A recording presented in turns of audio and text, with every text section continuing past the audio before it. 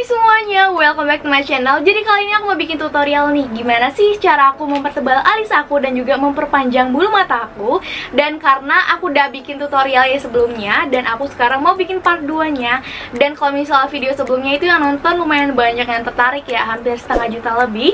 Dan sekarang aku mau bikin part 2 nya Tapi ini beneran beda banget, bukan kayak sama barang, bukan.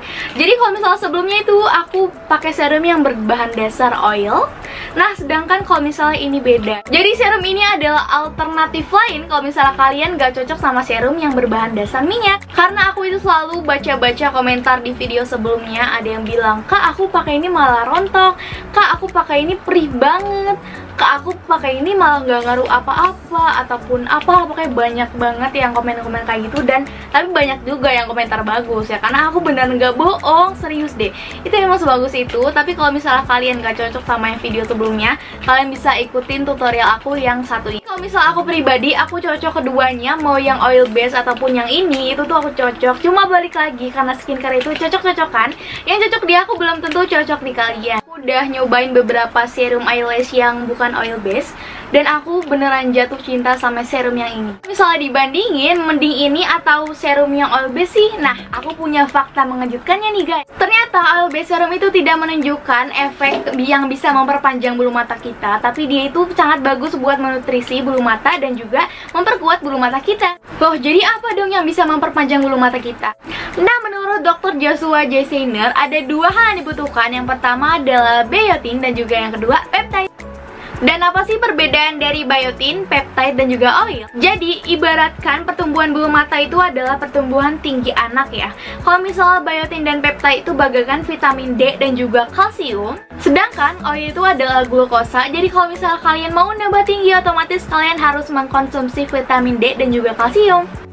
Dan berdasarkan pencarian, bulu mata itu baru tumbuh setelah pakai serum-seruman ya Itu sekitar 60 hari Sedangkan fakta ya, fakta Kalau misalnya kita baru beli eyelash serum Itu rajinnya pas di awal doang gak sih? Kalau misalnya pas awal beli itu kayak rajin banget tiap hari pakai Terus kalau misalnya udah misalnya 3 mingguan deh, baru 3 minggu kayak ngerasa Kok nggak ada hasilnya ya? Kok nggak ada perubahannya ya? Padahal tuh belum mulai belum waktunya tumbuh gitu. Tapi udah kalian udah kayak males gitu. Jadi aku saranin kalau misal kalian mau pakai ini biar lebih ampuh banget kalian bisa taruh di tempat sikat gigi. Jadi pas kalian sikat gigi kalian gak lupa buat pakai serum ini Nah, jadi aku mau rekomendasiin ke kalian ini lokal brand yang super duper bagus banget. Entah dari bahan, harga, maupun keamanannya. Dan dia juga sudah terdaftar di BPOM Jadi udah jelas ini 100% aman banget.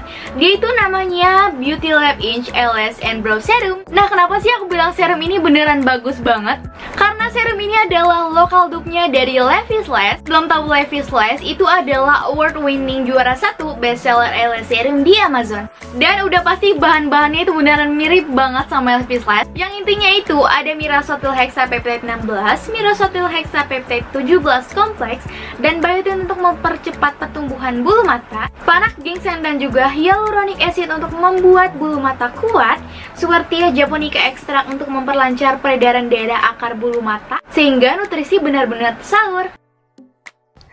Dan di sini aku benar-benar ngerasain perbedaan antara serum yang berbahan dasar minyak dengan yang ini. Karena apa? Dari teksturnya aja deh. Kalau misalnya yang ini, ini benar-benar mirip kayak air biasa. Jadi ibaratkan kalian ngeplay air biasa deh di mata kalian. Itu tuh dia cepet banget ngeresapnya ataupun keringnya. Nggak bikin perih sama sekali dan juga nggak bikin berat di mata kalau misalnya yang minyak itu dia itu kan lama banget keringnya ya. Dan kalau misalnya bangun bahkan aku tuh matanya masih oily banget. Itu bener-bener ngeganggu banget sih bikin risih ya. Dan yang paling aku suka adalah dia itu suka bikin perih. Jadi kadang ngeganggu sih jujur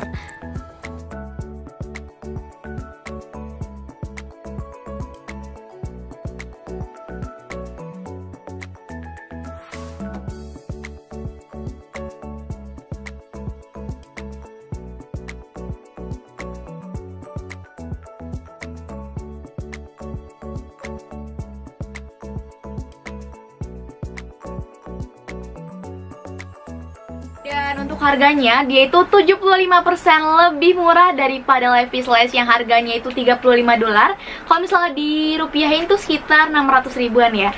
Dan ini harganya itu cuma 149 ribu aja. Dan yang aku sukain lagi dari serum ini, dia itu bisa buat 60 hari, bahkan lebih ya. Jadi kurang lebih kalian tuh sehari cuma ngabisin sekitar 2000-an aja.